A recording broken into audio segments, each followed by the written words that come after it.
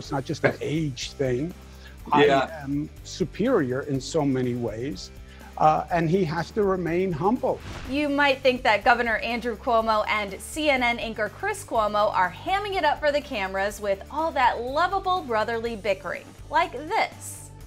This isn't a flattering picture. I did not pick this picture with your mouth open, but it is suitable in some ways. And this.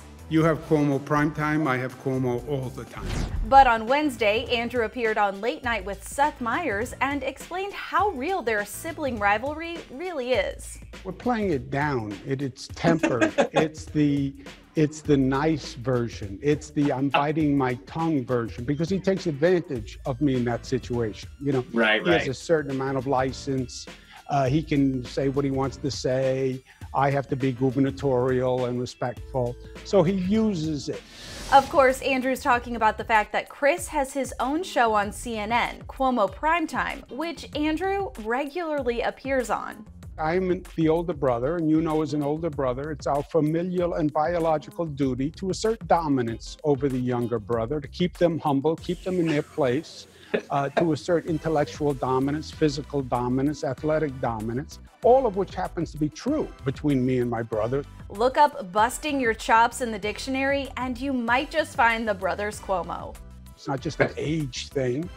Yeah. I am superior in so many ways, uh, and he has to remain humble. Yeah, so the two might playfully butt heads, but there's clearly a lot of love there.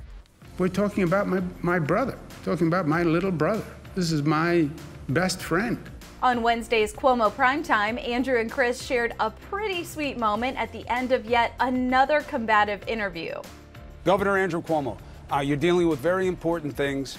Uh, I know that you don't take yourself seriously, but you take the job very seriously. That's what the situation demands. Yeah, it's the cute brotherly moments like that that has America totally swooning over the Cuomo brothers. I love you. Thank you for coming on the show.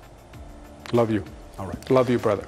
The Cuomo craze has gotten so big, the term Cuomosexuals was coined for their fan base, which includes stars like Jada Pinkett Smith, I don't miss a press Mm. conference. When Cuomo's on, I'm, I've turned, I'm like, got to go see my celebrity crush right now. Sorry. and Trevor Noah.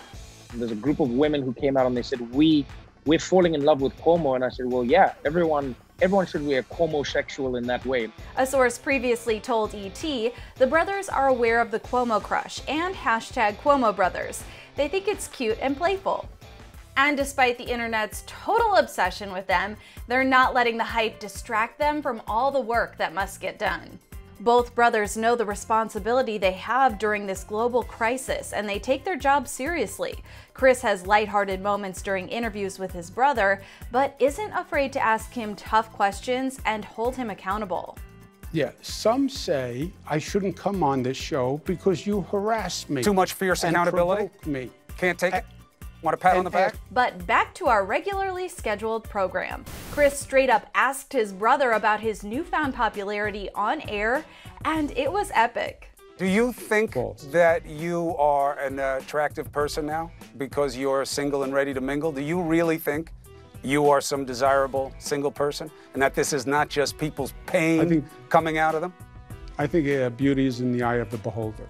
Listen to you. You got an answer for anything. You're feeling pretty good about That's- yourself these days, aren't you? In April, E.T. chatted with Chris's wife, Christina, who weighed in on all the love her hubby and brother in law are getting.